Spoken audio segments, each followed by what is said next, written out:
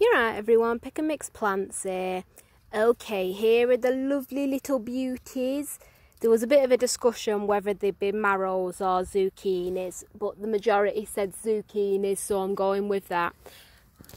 I was going to try and pull and twist them off, but I didn't want it coming back and ripping the plant. So, nice little snippy snippy.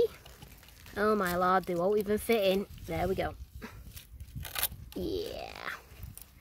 Sorry, darling, come on. You're being harvested now. And you'll be turned into a lovely, lovely meal, the both of yous. Eh.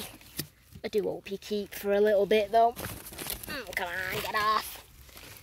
Ah, smashing. And just give me a moment. I'm not too worried about the colour on that side because I've not really get off your slug, your slug off.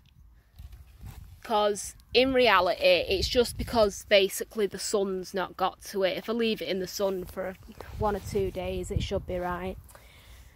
But yes, and my pumpkin looks like it's growing bigger. Sorry, I'm a bit out of breath. I've been digging a bit.